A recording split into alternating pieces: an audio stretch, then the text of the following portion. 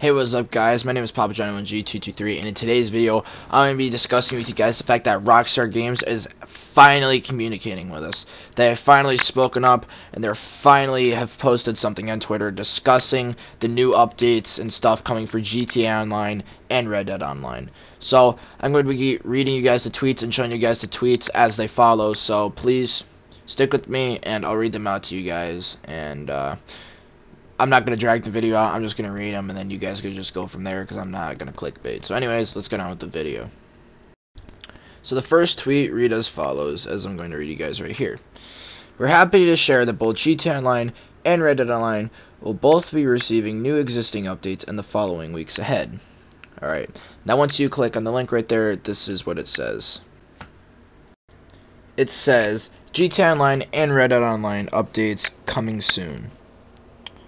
With both games playing home to more players than ever before in recent months, we know that the community has been awaiting news of any updates for GTA Online and Red Dead Online, and we are happy to share that both games will receive exciting new updates in the following weeks ahead.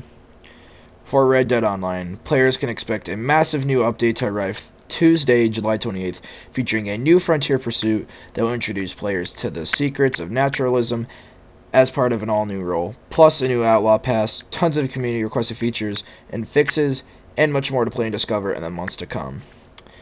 Then it also says a summer update to GTA Online is also on the way, offering up a fun mix of diverse new content from the game's massive array of experiences to enjoy.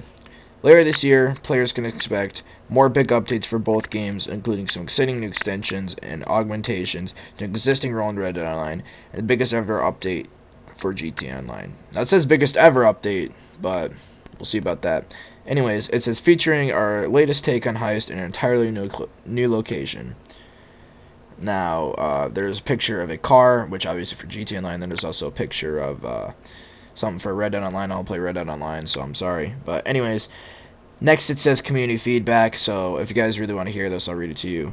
Thanks to your submissions via our official feedback channels, we have added a number of highly requested features across recent updates, including musical instruments in Red Dead Online, the ability to run all businesses via the Master Control Terminal in GTA Online, and more.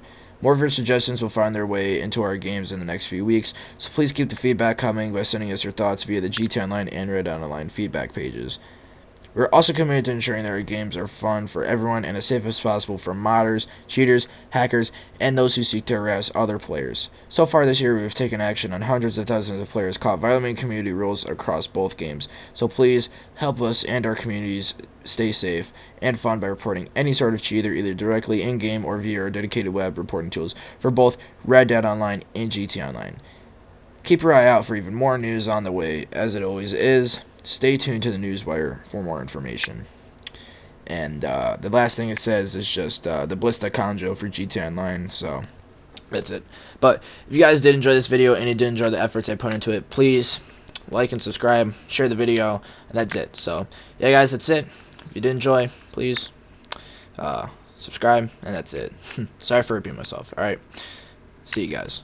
Peace.